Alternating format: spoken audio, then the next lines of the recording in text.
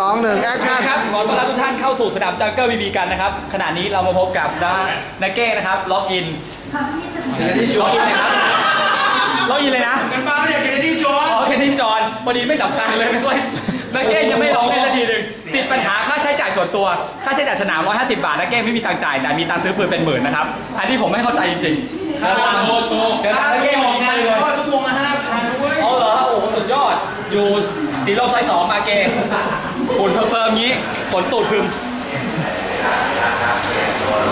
อันนี้พี่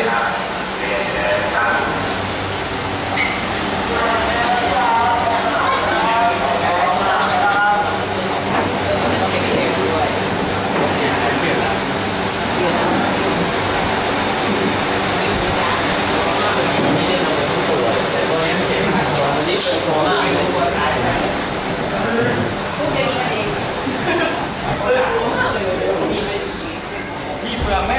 มาตัดทั้งท้องตรงนี้เอาเลย ครับก่อนอื่นนักเก้ใส่แบตก่อน ใส่แล้วใส่แล้วพร้อมยิงเลยใส่แม็กก็ยิงได้เลย สุดไหมครับแม็กสุดไหมลองดึงดูที่หลุดเปล่า อ่าอย่างนี้อย่างนี้ไม่สุดแล้วกดกดแรงๆครับแรงๆไม่ต้องไม่ต้องกลัวปืนเจ็บครับ ไม่ถนัดฮะตัวยาวยืดทั้งหน่อยเพราะว่าเราตัวตัวสูงเล็ง เล็งยังไงบอกดิโอ้แล้วเก้สอนจป็ระเข้แล้วว่ายน้นั่นแหละ ถ้าอย่างนี้แสดงว่าศูนย์ศูนย์ไม่ตรง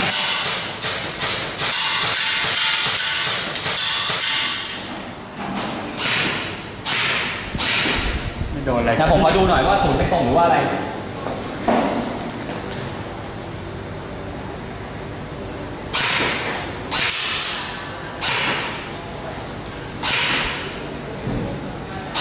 จจะมีวิถีลมมาเกี่ยวข้อง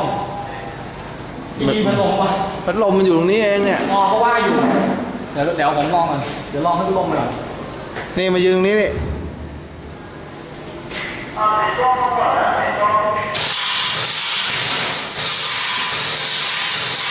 ลูกเหิน ลูกเหินปรับพับเลย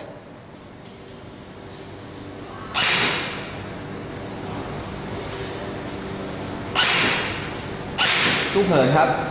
เพราะว่ากระบอกนี้ที่ผมจับลูกเหินดูเนี่ยยางฮอปแข็งมาก ลูกเหินครับ ต้องปรับฮอปนิดนึง ต้องให้พี่ปิดจัดการอะคลายสุดแล้ว สุดแล้วเหรอเออคลายสุดแล้วแล้วทำไงอะ เปลี่ยนยางฮอปอย่างเดียว ก็เปลี่ยนยางฮอปหรือว่านาเก้ง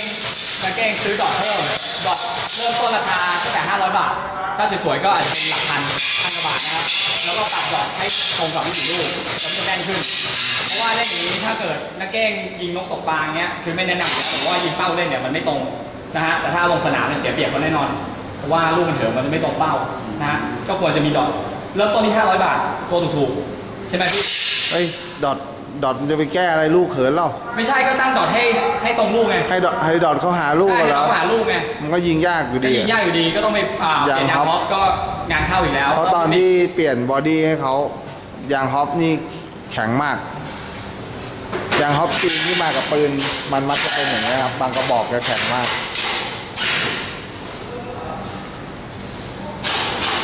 ไหนลองยิงรัวดิยิงรัว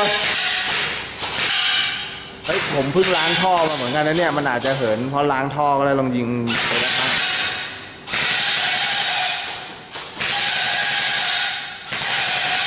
ตรงละตรงละมันตรงอะตรงแต่มันเหินนิดนึงนิดนึงอ่า ใช่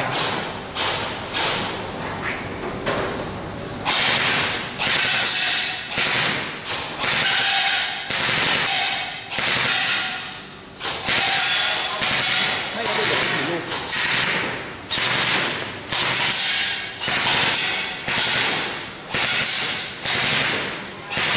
มันก็ไม่เท่าไหร่นะ พูดถึงมันไม่เท่าไหร่ แต่เปลี่ยนว่าเดี๋ยวปรับ ปรับ ปรับศูนย์ ปรับศูนย์หน้า เอ้ย ปรับศูนย์หลัง ก็ไม่พี่ ไม่เหินเท่าไหร่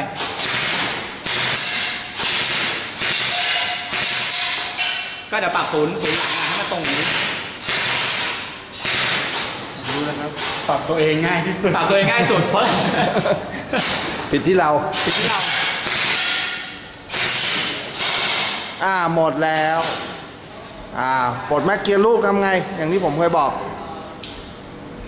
เอาแม็กออกก่อนเอาแม็กออกก่อนแม็กออกก่อนเอาแม็กออกก่อนปล่อยกดกดเลยครับ กดเลย กดอันนี้วชี้กดมีอยู่ข้างนี้ผมก็หาข้างที่อยู่กดเลยครับดึงออกนั่นแหละ แล้วก็ยิงสักสามครั้ง โอเคเซฟเสร็จเรียบร้อย